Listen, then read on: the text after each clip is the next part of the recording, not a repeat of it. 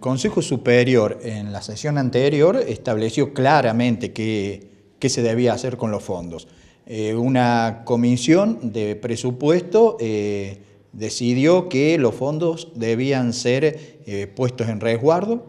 en una cuenta este, sujeta a intereses y en, realidad en resguardo por el, el desfinanciamiento que en realidad se está haciendo de esos fondos, es un proceso de subevaluación, de una pérdida de activo, y bueno, eso solamente eso se había definido ya en la sesión anterior, ahora se reafirmó nuevamente que este, durante 90 días se establecerán esos fondos en una cuenta este, bajo interés y por supuesto, mientras tanto, queda abierta eh, la propuesta de presentación de proyectos eh, para ver realmente qué eh, vamos actitud se va a tomar en el Consejo Superior con respecto a, los fondos. Eso es, eh, sencillamente, nunca los fondos han sido utilizados, como se ha dicho por algunos lugares, lo que se ha hecho sí, y que creemos que es necesario, resguardar el activo.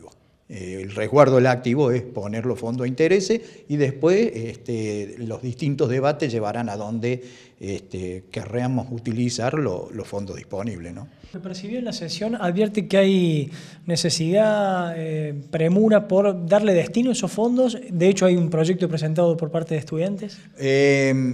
uno creería que sí, es decir, a ver, acá va a haber un abanico de, propuestas. Quienes este, van a sostener los principios que dieron origen en, el 2009, digo, de no utilizar los fondos, quienes van a querer este, utilizar los fondos, algunos como el proyecto de los estudiantes de dinámica, que sostienen la necesidad de un 50% a las investigaciones socioeconómicas ambientales, eh, y seguramente van a presentar otros fondos, eh, otros proyectos donde los fondos van a querer ser utilizados o no, no sabemos realmente. Lo que sí debemos de una vez por todas este, terminar con eso, porque los fondos eh, hoy en día cuando la Secretaría de Política Universitaria mira el recorrido financiero de nuestra universidad, los fondos se observan.